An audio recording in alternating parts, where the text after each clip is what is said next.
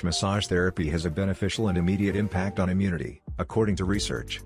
Arginine vasopressin, a hormone that helps control blood pressure and water retention, was found to be lower in blood samples obtained before and after the massage.